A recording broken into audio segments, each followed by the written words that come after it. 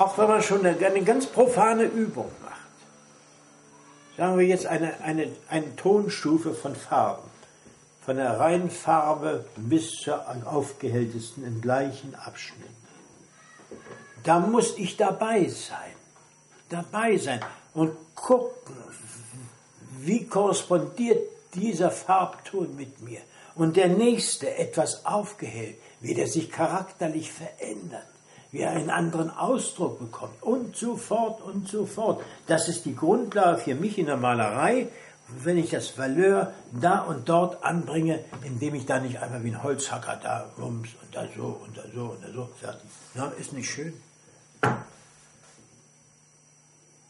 Genau wie in der Musik auch, nicht? Ich muss ja immer die Musik in Verbindung bringen, weil nicht nur ich, das haben ja viele Künstler gemacht, vor allem Paul Klee. Nicht? Ja, er sagte, ein Künstler, der muss über seinen Tellerrand blicken, auch in die anderen Künste hinein. Denn auch das Theoretische, wenn man die Musiktheorie studiert, wird man merken, man kann das jetzt, wenn man das Wort Musik weglässt, kann man das ganz peu à peu, eins für das andere, auf die Malerei, auf die bildende Kunst übertragen. Klang, Dreiklang, Vierklang, Missklang, Harmonie, Disharmonie. Das sind ja Dinge, die brauchen wir, um etwas auszudrücken. Wir drücken ja in der Malerei auch was aus. Hass, Freude, Liebe. Können wir ausdrücken. Brauche ich also Grundlagen, muss ich vorher schon trainiert haben.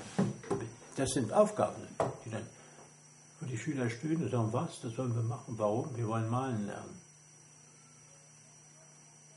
Wenn ich malen lernen will, muss ich ne, da reingucken in die Malerei, wie sie sich aufbaut, was ich da brauche. Aber wir können nicht genug üben. Das wird immer vernachlässigt. In der Musik geht das nicht ohne Üben. Das, bei mir früher beim Klavierlehrer stand drauf, 30 Mal täglich. Ja, 30 Mal täglich. Ja, das ist nicht zu viel gesagt. Nicht, nicht zu viel, 30 Mal täglich. Wenn ich das nicht mache und Klavier lernen will, kann ich das Stück nicht lernen in acht Tagen. Geht nicht. Nur eine Seite, nicht etwa eine Sonate oder was, eine Seite. 30 Mal täglich. Ja. Acht Tage, 30 Mal täglich. Wenn man da dabei war, dann kann man es. Und in der Malerei kommen wir auch nur weiter, wenn wir ähnliche Stränge an, anlegen und ähnliche Disziplinen uns auferlegen. Wenn wir das nicht machen, brauchen wir eventuell 20 oder 30 Jahre und durch die lange Zeit zieht sich das wie Gummi auseinander und wir kommen dann nie zu einem Ziel. Wir müssen also da auch sehen, dass man, dass man, denn nichts ist schlimmer in der Kunst als Pausen.